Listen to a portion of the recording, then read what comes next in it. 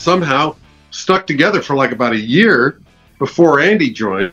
You know, Andy discovered us, plucked us from obscurity, and suddenly we had an actual musician in the band, and that's when Sting started writing songs.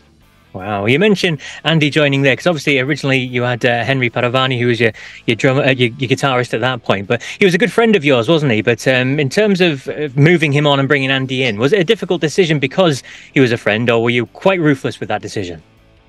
Quite ruthless, but it was a difficult decision because he was our friend. I mean, he was the life of the party. He was the only pe- member of the band that anybody in London liked. All the critics, you know, they spotted Sting and I as being carpetbaggers, but Henry was actually the real thing in his dark glasses and his Corsican uh, charisma. He, he was really charismatic, but he only knew four chords at the time. He, he's actually become quite a good guitarist, but at that time, he was very limited in his vocabulary. Um, so we had to play within the confines of his four chords. And Sting actually did start trying to write songs there. And I think it was actually very useful ultimately because it taught him how to distill his ideas into a much simpler form. I mean, he, previously he'd been writing, you know, jazz compositions, which are way too complex. Um, so the punk form and Andy and Henry's limitations kind of distilled his musicality. And he, said when he was writing songs, the first ones that he produced were not "Message in a Bottle."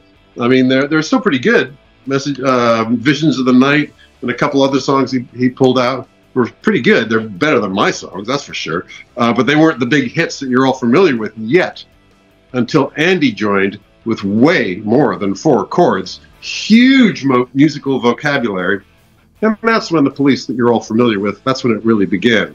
But we still starved for another for the rest of 1978 until finally we went off to America. Indeed. So how did you find Andy then? How did you how did you entice him? How did you lure him into the band?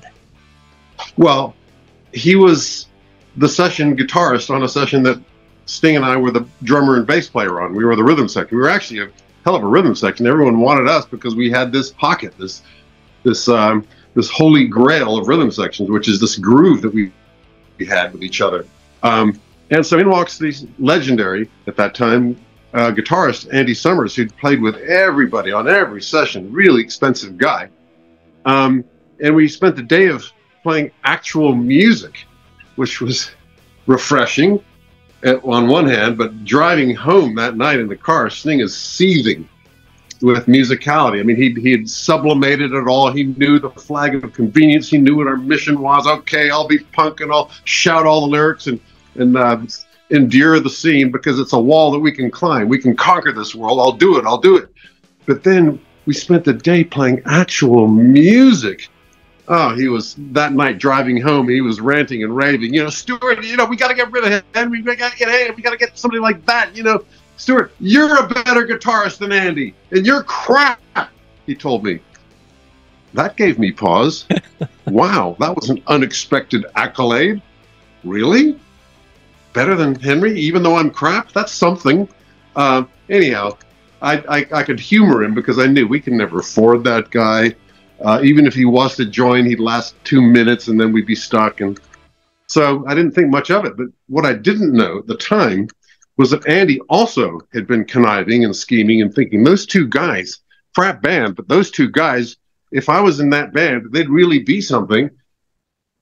So finally, long story short, it's all in the book. The long story is in the book. The short story here on the radio. Um, he volunteered. He said, "Hey, you, you and that bass player, you've got something, but you need me, and I accept.